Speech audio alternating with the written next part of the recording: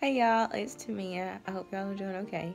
I wanted to get on really fast, let y'all know that I had to start over again and make a new channel. I'm still gonna leave this channel open, so if y'all want, y'all can come back over and look at some of my old vlogs.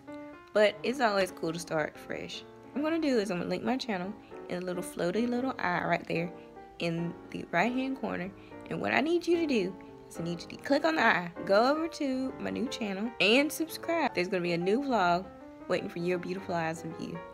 And I need for y'all to stay tuned because there's some awesome, awesome news that I need to share with you all. So be patient and stick around, alright? I guess I'll see y'all on my other channel.